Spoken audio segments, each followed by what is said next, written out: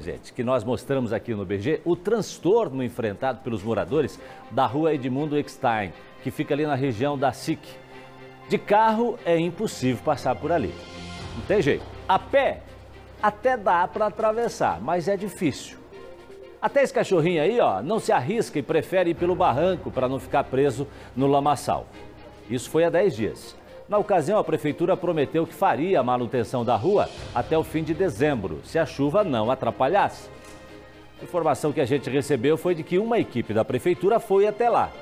Mas o resultado ficou bem aquém do que o povo esperava. O balanço geral mostrou o problema.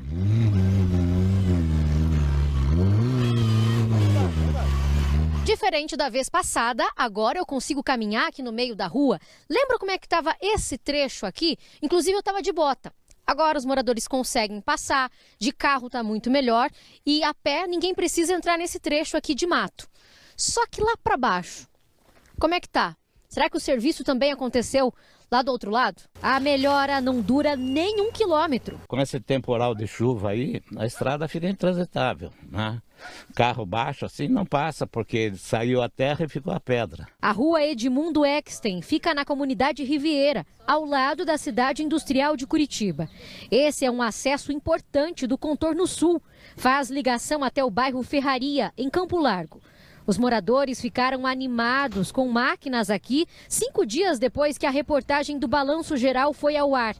Mas consertar um trecho só não adianta. Seu José, como é que é o nome do serviço feito? Gambiarra.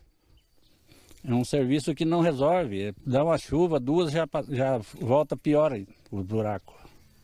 Nesse trecho que a gente está vendo aqui, seu José, eles chegaram a passar a máquina? Tinha ficado bom mesmo? Não, eles estão andando com a máquina por aí, mas só uma semana, um pouquinho, já volta tudo, fica pior. É só barro, mais nada. Segundo os moradores, o problema é que o trabalho dura até a primeira chuva forte. Depois vira uma enxurrada nas laterais da rua, com o material que foi usado para consertar. É um trecho de uma descida bem, bem íngreme, né? E quando chove, a chuva acaba levando todo, toda a terra, todo, toda a pedra para baixo. E acaba causando buracos na estrada ali. Como formam as panelas bem grandes, aí se precisa estar tá desviando, tem risco de cortar pneu nas pedras, é bem, bem complicado. Tinha que arrumar, né? Fazer um asfalto. Fazer um negócio bem feito para ficar. Depois da chuva, o jeito é pegar a enxada para tentar arrumar a rua. É a única saída para não ficar preso com o carro. Não só eu, como vários moradores, a gente tem que pegar a enxada para poder arrumar o trajeto para ir trabalhar. E é bem complicado na situação. Esses dias meu irmão foi sair de casa também, sofreu um acidente aqui na rua por causa desse pedaço da rua que é bem ruim, o carro veio de frente com ele, não teve como desviar pelos buracos, acabaram batendo o carro. Vem a reportagem aqui dar uma força, mas a prefeitura tem que fazer mais. Tem que fazer mais, exatamente. Tem hora que é revoltando, dá vontade de ir embora, né? Largar, porque tá até bom o serviço, a gente se adaptou aqui, eu e minha esposa, né? Não tem condições, tem vezes aí que a gente não pode nem sair, se ficar doente, qualquer coisa aí, tem que ir de helicóptero.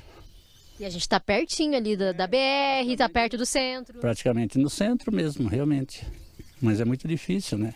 Choveu, acabou a estrada. Bom, eu sempre digo, o balanço geral vai aonde está a sua indignação. E a gente sempre torce para que o problema seja resolvido por completo. E aí parece que a prefeitura foi lá, né, deu uma tapeada na situação. Eu espero que eles tenham aí o propósito de voltar para terminar o serviço, né? Portanto, até acho que a gente vai dar um crédito aqui para esperar que eles venham. Agora a gente vai continuar em cima, tá, Prefeitura de Curitiba? Nós vamos continuar em cima, vamos continuar acompanhando. Tem previsão de chuva aí. Você já imaginou se chover agora por esses dias? Que amanhã, inclusive, a gente tem previsão de chover bastante. E aí, como é que será que vai ficar a situação ali na, na Edmundo Eckstein? Ali na SIC? É, se chover e o negócio complicar, nós vamos lá. Nós vamos lá para mostrar, porque aqui a gente está sempre do lado da população, tá? Nós estamos sempre do lado da população. E da verdade também. Pois é, vamos torcer porque isso tenha sido só uma situação de emergência, ou seja, fazemos algo agora para já preparar para um futuro, porque a experiência das pessoas que moram ali dizem que esse tipo de trabalho é temporário. Então, que realmente seja temporário e venha o definitivo, né? É o que todo mundo espera.